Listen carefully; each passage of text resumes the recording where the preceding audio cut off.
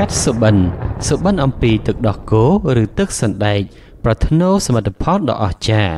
សុបិនឃើញទឹកសណ្ដែកមានអតិពលនិងប្រតិកម្មជាក់ស្ដែងក្នុងជីវិតពិត ហើយក៏បង្ហាញពីជីវិតនិងទុក្ខកង្វល់ផ្សេងផ្សេងដែលយើងមិនធ្លាប់បានដឹង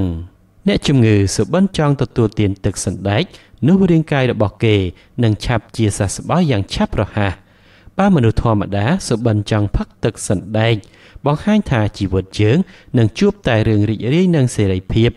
សុបិនឃើញខ្លួនឯងកំពុងតែកិនសណ្ដែកសម្រាប់ធ្វើទឹកសណ្ដែកមានន័យថានឹងទទួលបានរង្វាន់លាភសក្ការៈពីភេទផ្ទុយ នេះជាសញ្ញានាំលាភសំណាងក្នុងជីវិត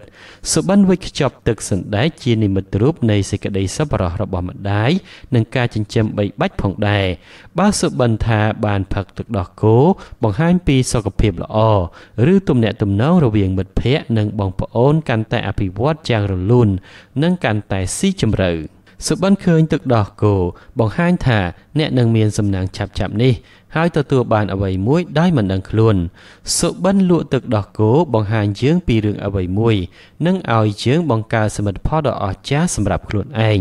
សុបិនឃើញទឹកដោះគោហ៊ីលើដី បង្ហាញថា អ្នកនឹងត្រូវបានដំឡើងឋានៈបើស្ត្រីសុបិនឲ្យទឹកដោះដល់កូន មានន័យថាសុភមង្គលគ្រួសារនឹងមានតែភាពសប្បាយរីករាយសុបិនឃើញទឹកដោះគោច្រើន បង្ហាញពីជីវិតសម្បូរបែប និងសុខភាពល្អ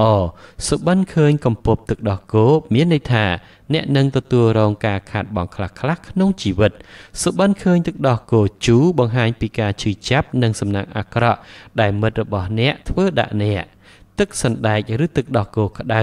បង្ហាញអំពីជីវិតលែងព្រួយបារម្ភអ្វីទាំងអស់សុបិនព្យាយាមផឹកទឹកដោះគោប៉ុន្តែមិនអាចផឹកបានបង្ហាញថា អ្នកអាចនឹងបាត់បង់របស់មានតម្លៃមួយចំនួន ឬបាត់បង់មិត្តភាពដែលអ្នកស្រឡាញ់ខ្លាំងបំផុត។